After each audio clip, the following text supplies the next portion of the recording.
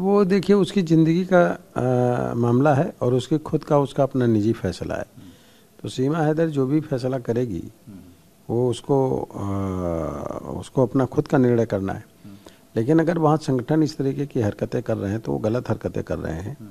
और अपने देश में उनको खुद को देखना चाहिए और किसी कम्युनिटी पे हमला करना ये करना ये आतंकवाद का परिचायक है।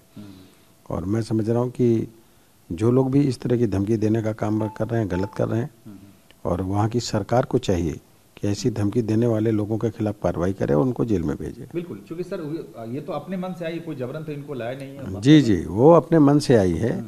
इसमें ना कोई हमारी सरकार का कोई रोल है ना किसी संगठन का रोल है। वो खुद अपना उनसे बात करते करते और आ गई है और वो अब उसके साथ रहना चाहती है। तो ये अपनी उसकी जीवन का निजी फैसला है। इसमें क्या कर सकते हैं? उसको अपना राइट है।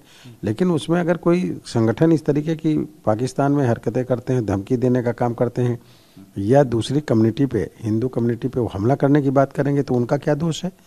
उन लोगों ने तो कोई उसके साथ कुछ किया नहीं। वो बदले की भावना से इस तरह करें तो फिर इसका मतलब वहाँ कानून व्यवस्था का राज नहीं है। गुंडागर्दी का, गुंडागर्दी करने वालों का, आतंकवादियों का राज है पाकिस्तान में। पाकिस्तान की सरकार को चाहिए कि ऐसी धमकी देने वाले संगठनों के खिलाफ तत्काल कार्रवाई करें, उनको जेल में पकड़ करके बंद करें।